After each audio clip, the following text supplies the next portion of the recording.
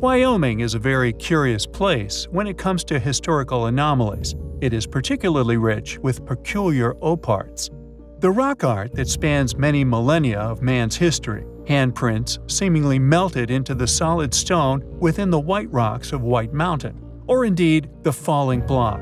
Although the name would suggest that this block is in a precarious position, it is in fact unliberated from the bedrock.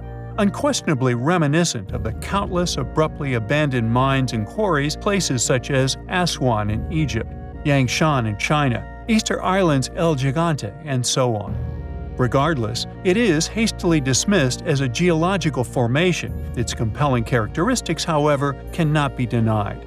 Its unnatural shape, its level top, its out of place appearance, as if placed there or as if it had fallen from the sky, not to mention the curious symmetrical patterning on certain sides, the same possible tool marks we have previously identified on stones, within such gigantic megalithic sites as that of Gornaya Shoria, another site littered with similarly sized blocks that are also argued as natural, yet the artificial characteristics present at the site would make this explanation unlikely.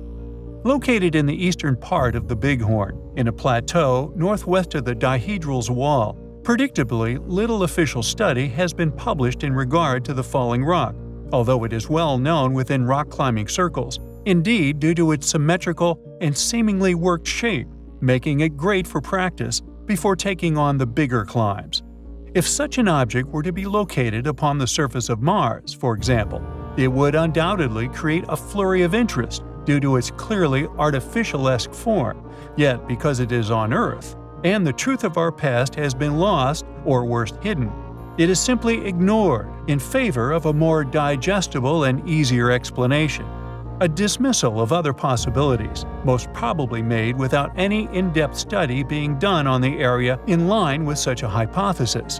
It simply does not give one a sense of authority to say that they do not know.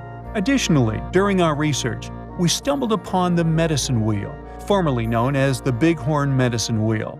Paradoxically, it is argued as an indigenous artifact, this regardless of the open fact that no indigenous people have publicly claimed to have built the Bighorn Medicine Wheel.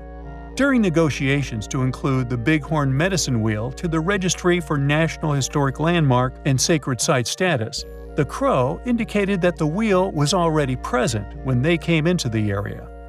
What do you feel about the peculiarities within Wyoming? Do you believe some were left by a lost civilization, particularly the Falling Rock?